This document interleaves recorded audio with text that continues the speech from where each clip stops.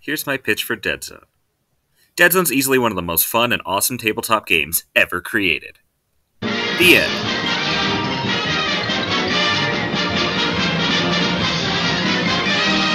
Thank you for attending my TED Talk. I'll be signing books in the lobby. No, th- no, thank you. No, th- thank you so much, guys. Okay, thanks. All right, see you. Uh, don't forget to like, comment, subscribe, and keep all nights, guys. All right, see you guys. Thank you. Bye.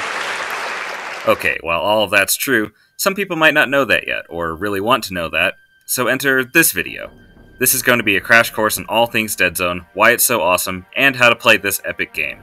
This is the best possible time to get into Dead Zone, because we're at the start of a new edition, so this video is designed for anyone who's never even heard of Dead Zone. By the way, if you're one of those people, hey, what's up? How you doing today? You look great. You know, you should grab a beverage, sit back, relax, and get ready to hear about the greatest skirmish game of all time. And if you're a grizzled hardcore, been there since first edition when people had different missions and Rebs suck super bad kind of player, then this video ought to be fun for you too, because we're at the start of a new edition, guys. This is going to be lots of changes to the lore, the rules, the aesthetics, and that tends to either scare people or. It gets the people going. By the way, my name is Tyler, and I'm going to be your guide into the wonderful world of Dead Zone.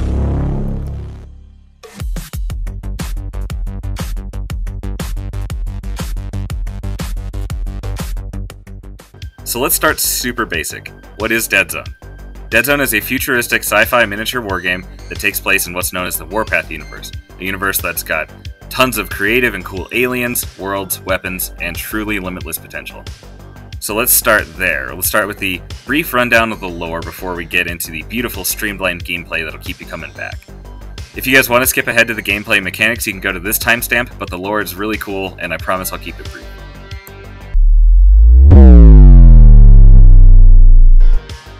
At the core of the lore, hey, that rhymed, is the GCPS, the Galactic Co-Prosperity Sphere. If that acronym sounded super hyper corporate, it's because it is. Humans are a bunch of greedy corporations run by a secret group of dudes or corporate entities or whatever they are called the Council of Seven, and basically humans have been expanding rapidly and pissing off a lot of stuff along the way. Humans started where we are today, but just kind of never stopped expanding, creating different spheres of influence. The first sphere is the oldest and the territory with the fanciest societies and the highest tech, and basically the fifth sphere being the very edge of the galaxy, hardly explored, and constantly learning about all the crazy new things that are out there in space. As humanity expanded outwards, they learned about a whole lot of factions, some happy to be absorbed into the GCPS, the nice corporate lifestyle, and some who were less enthused. More on that in just a second. There's a lot of history to unpack here, and I don't have time to do it all in this video, but I'm going to give you a quick rundown. Basically, humans liked hiring orcs called Marauders for protection until some of those same Marauders got sick of the humans' crap and had a massive and a little bit too successful rebellion, to which the GCPS was like, uh, maybe we shouldn't outsource our defense. Uh, so basically, they created the enforcers and buckled down on corporate armies so that they couldn't get bodied again. But like humans do, that gets a little out of hand, and the humans like to get a little overboard, and so they try to keep the galaxy a little too safe and a little too protected. Hence, dead zones. Dead zones are what happen when planets are locked down for one reason or another, and when I say lockdown, I don't mean like sitting at home watching Tiger King and hoarding bottles of hand sanitizer kind of lockdown. This could be because of a mutant plague outbreak, a planet wide rat infestation, yada yada yada, the list goes on and on. But basically, when a threat is bad enough, the GCPS lock down a planet and erase it from the map. Whether it's a brand new place with outposts and mining groups, or it's chock full of citizens and commerce that have been there for decades. But when you wipe planets off the map, that means that it basically becomes the wild, wild west, baby. And it's come one, come all to the planet of untapped potential. This is how you end up with lots of mercenaries, people fighting just to make a quick dollar. You've got people fighting for their homeland. You've got crazy infecting monsters all in the same places. And so this is what Dead Zone is all about. So now let's jump into the super quick rundown of all the factions, and hopefully I'll do full videos on these guys later with tactical breakdowns and all that, but We get there when we get there. gonna be down the road. So let's hop into factions. Choose your character. Let's start with the GCPS. So this is kind of a catch-all term for all the private militaries that are found across all the GCPS's spheres of influences. I realize I just said the Galactic Co-Prosperity Sphere is a sphere, kind of like saying ATM machine, but oh well, I'm keeping it in. Anyways, these are going to be your basic human dudes that are armed with laser guns and facing insurmountable odds. Think like the Marines in Halo or the Starship Troopers, minus all the bugs. At least for now. Armed with lots of bodies, heavy weapons, and a classic military feel, these guys are ready to shoot stuff all across the galaxy. So if you're a big fan of being the status quo with lots of guns and corporate greed in your heart, this is the faction for you. Choose your character.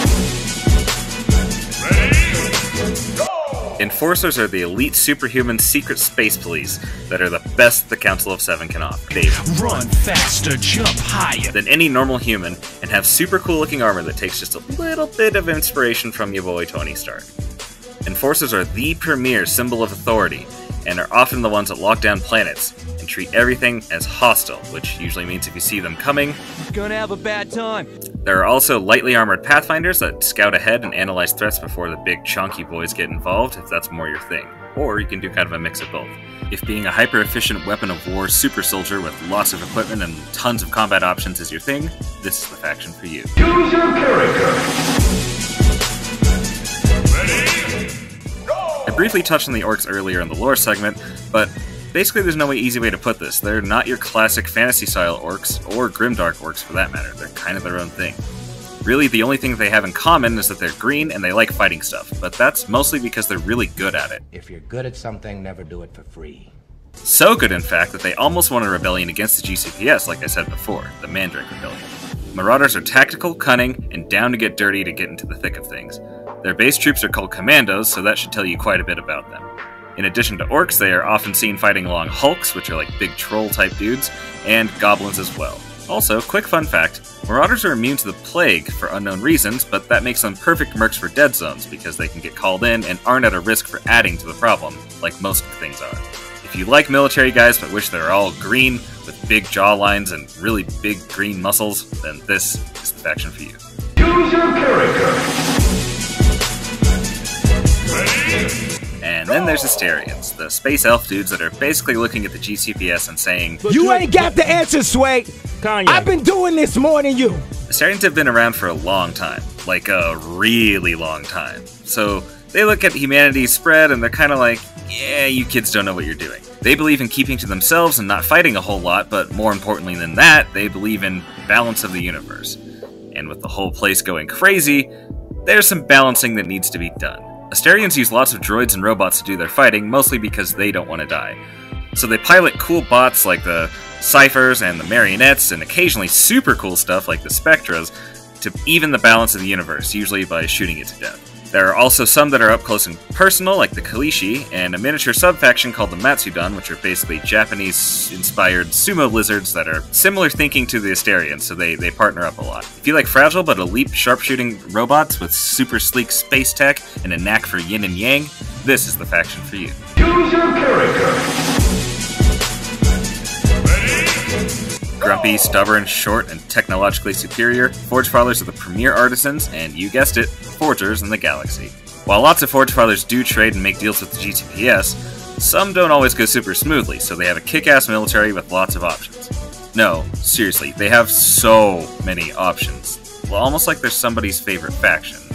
But, anyways, Forge Fathers pride themselves on having high armor penetrating rounds and lots of thick armor to be the walking tanks and slow but efficient hammer in the galaxy. Plus, they harvest stars. Yeah, like full on stars. They harvest those. Cousin businesses are booming. So if you like dwarves with powerful weapons, hammers, heavy armor, and a huge selection of models, this is the faction for you. Choose your character. Ready? Go! Oh, Mazon Labs. This is a corporation that does not believe in what Jeff Goldblum said in Jurassic Park. Yeah, yeah, but your scientists were so preoccupied with whether or not they could that they didn't stop to think if they should. Because they can, they will. So they're kind of a hybrid faction that sports elements from the traditional GCPS military style stuff, but also some insane cyborgs and plague experiments to add a bunch of extra flavor. Because nothing's ever gone wrong in a lab in a sci fi universe, these shady corporate scientists do their best to tamper with nature and use some of the highest quality military stuff like the Urbana Cold Spear to keep them and their facilities safe. If being the center of weaponizing viruses and combining elements of multiple factions is your jam, this is the faction for you. Choose your character. GCPS calls a conglomeration of ocean loving tentacle squid species as nameless because their language is basically impossible for humans to pronounce. Wait, how am I supposed to pronounce this? Most of the nameless are, or at least were, peaceful until fairly recently. Now, the I told you it's hard to say is a religious faction within the nameless that has decided that now is the time for conquest. So, using the power of fanaticism and the truly awesome wide variety of tentacle creatures, the Nameless are taking to the galaxy and quickly becoming a massive threat to the GCPS. If Cthulhu faced space squids, shrimps, crabs, and a whole lot more are your slimy jam, this is the faction for you. Choose your character.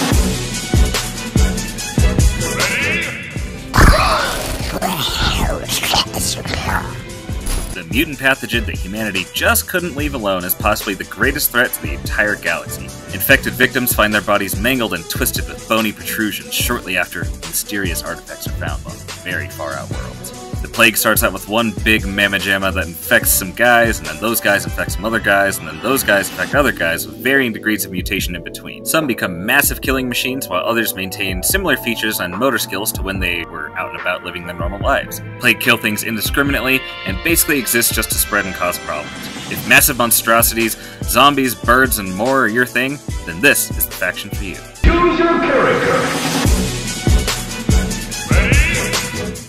With oppressive corporate greed and expansion comes a lot of disenfranchised races and motivations. Rebs is kind of the catch all term for the various movements and rebellions across the status quo of the galaxy. However, it's not one giant movement with one common goal, with one common leader, so the Rebs are kind of a disorganized mess with lots of different motivations.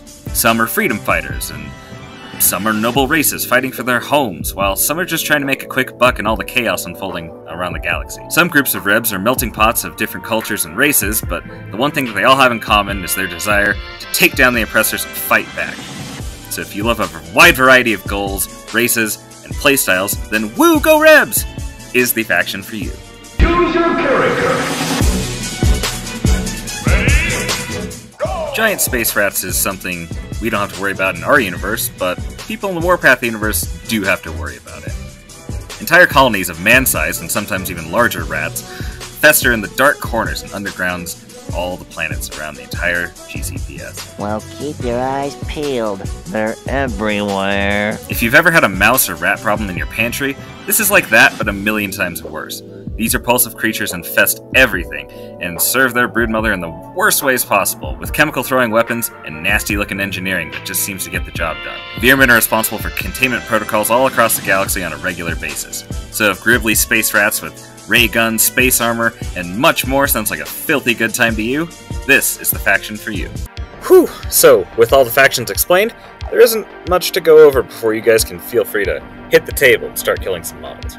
Moving into Dead Zone 3rd Edition, there's been a big shift in the lore from fighting and containment protocols on Forsaken outposts and mining worlds to more developed spheres of the GCPS. This means that wars and battles are making their way deeper and deeper towards the core of corporate space, which is a really cool direction to see the story going.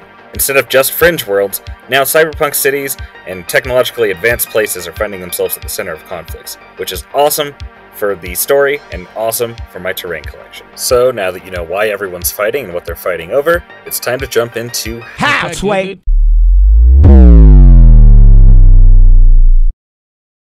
Dead Zone is fast, fun, three-dimensional, and easy to learn, and the goal of this section of this video is to prove that to you by showing you exactly how this game works. First, you'll hmm. need some stuff. You'll need miniatures for your chosen faction, obviously, some 8-sided dice, some command dice, which I'll cover in just a bit, the rulebook, the force list book, and the terrain. If you don't have all this stuff from previous editions, that's what starter sets are for. So go get one and get started. Like most miniature war games, you'll need a tape measure. Psych!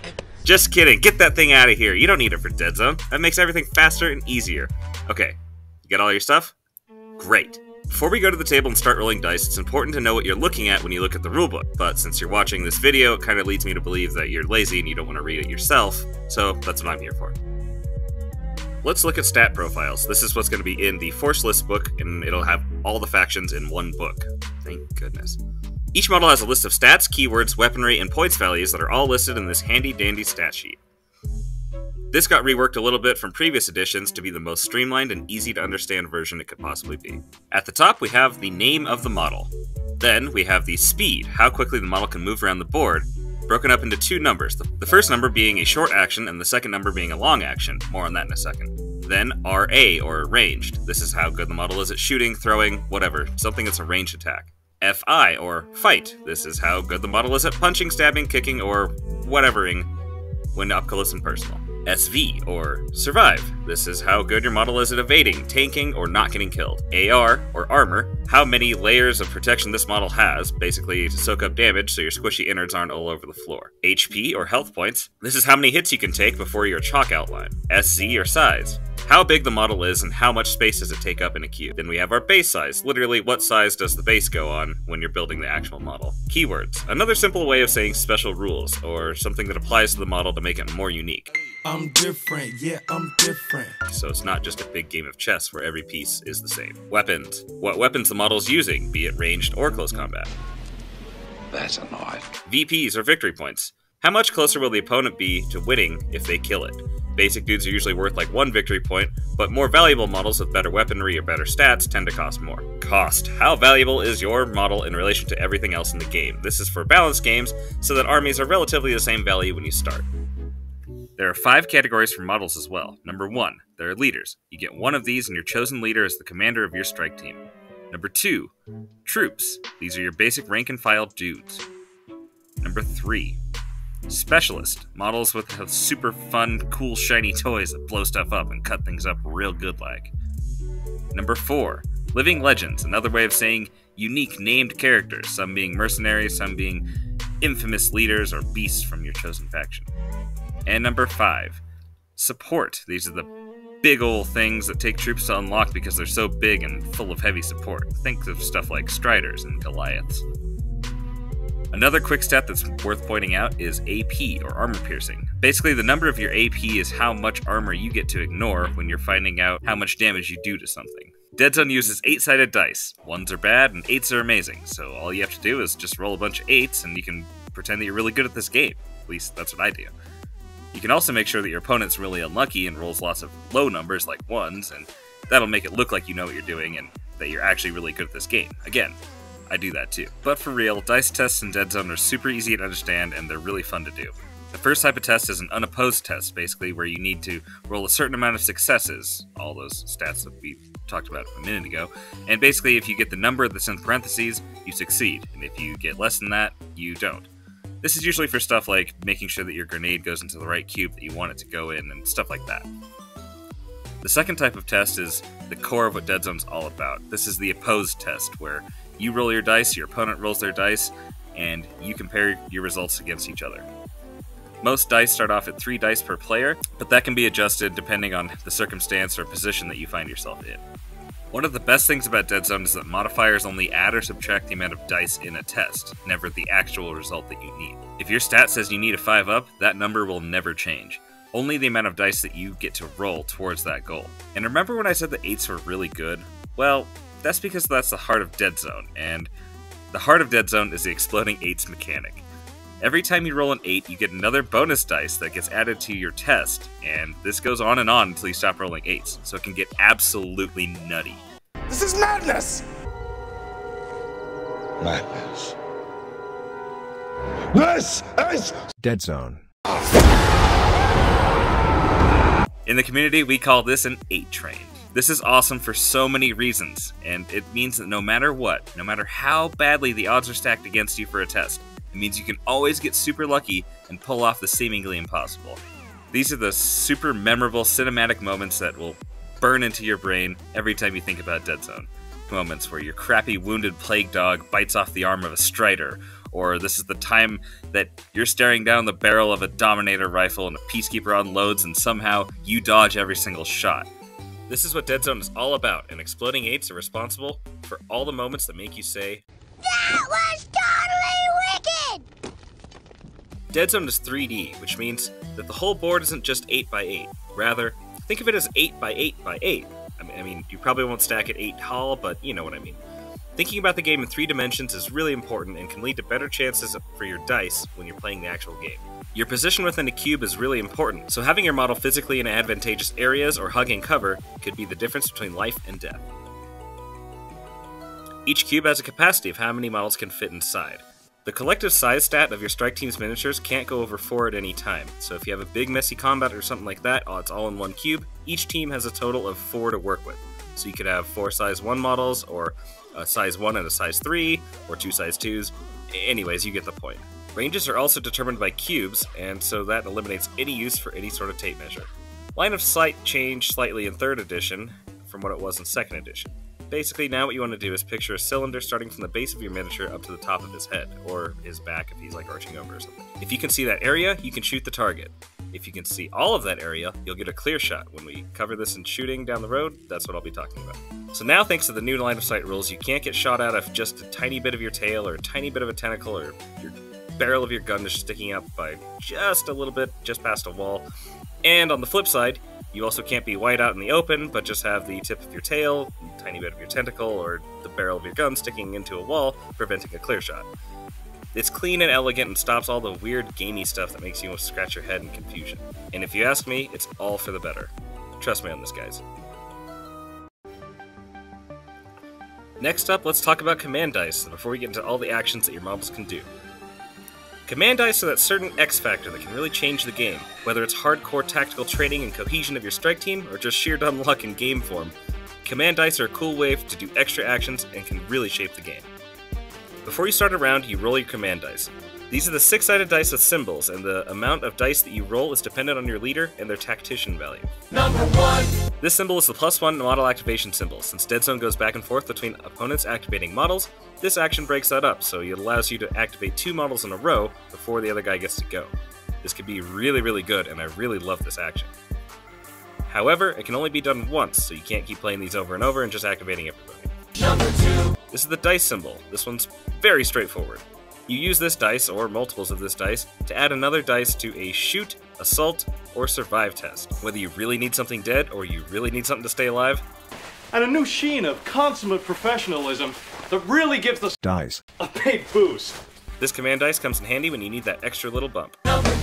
This is possibly my favorite command dice, and this is the move command dice. This one allows a model to use a free move of one cube, which helps in almost every situation. Do you need to move up a cube so you can see a target so you can shoot it later? Move dice. Do you have a heavy weapon that takes penalties for moving and shooting? Move dice. Do you need to attack that model way over there? Move dice. Do you need to poke out of cover, shoot, and then go back to cover or back onto an objective? Move dice. Move dice are the best. This is a shoot dice and it's very straightforward. Got a guy with a range attack but you already shot something? Shoot again with the shoot dice.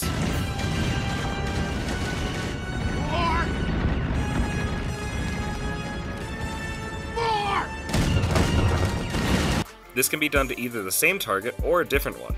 So it's really great and really flexible, allows you to do literally double the amount of things you could normally do. Speaking of simple actions, Five. Are you fighting something but you wish you could fight it again? Assault dice. Straightforward and awesome. This is the Special Order, or the Mantic Splat symbol. These are different for every single leader in the game, and depending on what your strike team leader is doing, it's super important. It can be a lot of different things, so it has a lot of synergy and a lot of ways to build your army.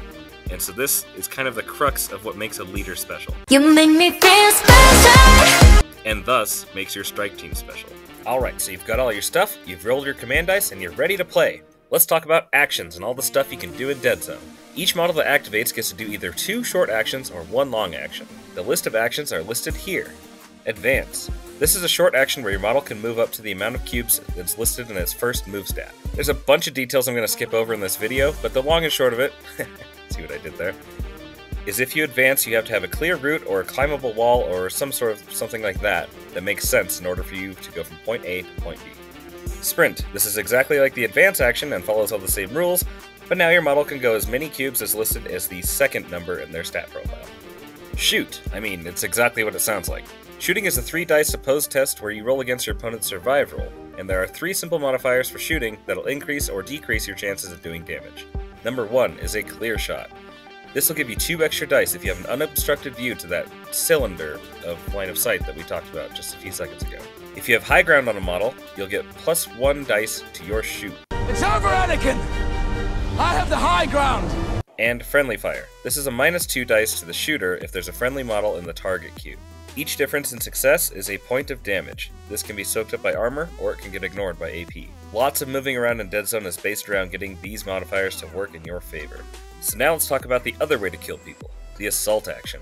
Assault is a long action, but a free assault is triggered automatically anytime a model moves into the same cube as an opponent model. So, just like shoot actions, this is an opposed dice test, and this time, the target model can choose to either fight back or survive. So, the modifiers for fighting are pretty straightforward. You get plus one dice if your model moved into the cube and triggered the fight, kind of like a charging bonus. You get plus one dice if one or more friendly models are in the same cube. You get plus one die if the opposing model is injured. Stop! He's already dead. It's good to kick them while they're down, you know? You get plus one die if the model is larger in size. I'm bigger than you, I'm higher in the food chain! And you can also get plus one if the opposing model was pinned when you started the assault action. If you choose to survive, modifiers are pretty similar. You get plus one if you have friends in a cube, you get plus one if your opponent is injured, and you get plus one if you are larger than the other model. Damage works the same way as shooting, and it's a bloody great time. The next action I want to touch on real quick is Stand Up. If your model is pinned by either getting thrown around or ducking from suppressive fire, Stand Up is the short action that you have to do before you do anything else. And finally, the last action is called a Special Action. This is a deliberately vague catch all term for any of the other sort of actions you might be able to do, like hacking terminals and things like that. Usually, this is for objective play.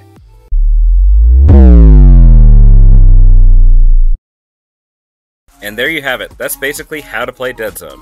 Obviously, there's quite a few keywords and situations that aren't covered in this video, but this should be a fantastic taster to get you the main ideas, and hopefully will get you excited about this game.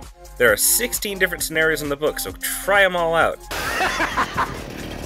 No, that's a lot of scenarios. And they're all really fun. So far, I've played quite a few of them, and I love them all. So now that you have the basics down, there's only one thing to go do. Go play some Dead Zone, guys. Seriously. Quick! Get out! Get out of here! This video was a ton of fun to make and a ton of effort, and I really truly hope you guys enjoyed this as much as I enjoyed making it and putting it all together. Honestly, like, I mean, this video was seriously downloading so many different bits of media and audio, and I'm sitting in my closet right now trying to get the best audio quality, so hopefully the effort pays off, and I hope you guys really did enjoy this. With all that being said, don't forget to like, comment, subscribe, and keep rolling eights, guys. Stay tuned to this channel for more content, it's going to be great. I can't wait for third edition, and I can't wait for you guys to really dive into it like I've been able to. Dead Zone.